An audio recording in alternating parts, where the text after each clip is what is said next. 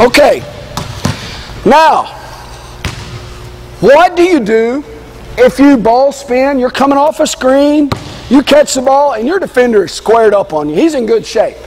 He's not a little bit high where there's an open window. He's not a little bit low where there's an open window. He's squared up. What do you do? I'm going to give you two tools that you can use to beat this guy. You're going to create your own advantage. All right, let's change around. Let's switch it around. You guard me and be squared up on me. You're just in great shape. Okay, the first move is called the rocker move. And this works, it works, it works. All right, all you do when you recognize you inside pivot and you recognize that he's squared up on you, take your direct drive step hard. Jab a direct drive. Okay, now watch what he has to do when I step hard at that outside foot. Okay, good, very good. See, I backed him off, and he has no choice. He has to do that. Now, what I'm going to do is come back to a shooting stance, and I'm going to have the ball cocked and loaded right here. Now, did you see what he just did? Inevitably, what he will do is you back him off, and you come on. Now, I want you to do that to me. Let's go through it step by step. Back me off. All right, now go back to shooting stance and have the, yes, have the ball up. It's like throwing honey in front of some bees. He can't help it.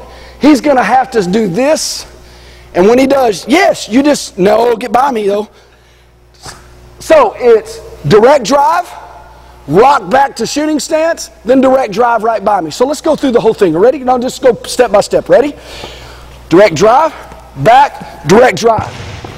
So why do we call it a rocker move? Because your body is like a rocking chair going back and forth, back and forth.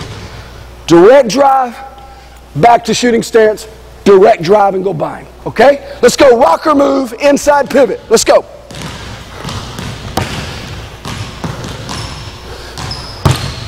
Okay, freeze, freeze, freeze, freeze, freeze. I knew that was going to happen. Okay. Very good, except for one thing.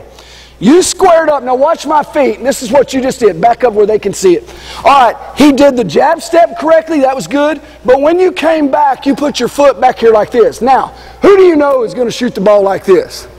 maybe a seventh grade girl. But guys don't shoot it like this, so he's not going to raise up. Plus, this is now a very slow, long step. You want your feet to come back to shooting stance. So jab, look, watch this foot. I come back to shooting stance right there. Then I go right by okay? All right, here we go. Let's go. jab. One step. Let's get all the way to the rim. We're not going to shoot pull-up jumpers yet. We're going to add that in a minute. Get to the rim in one dribble. Get to the rim in one dribble. Jab. But very nice. That's it. Good. Good. Good. That's the way to get to the rim in one dribble. Good.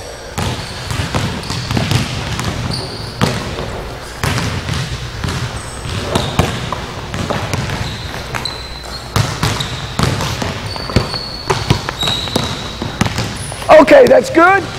Stop.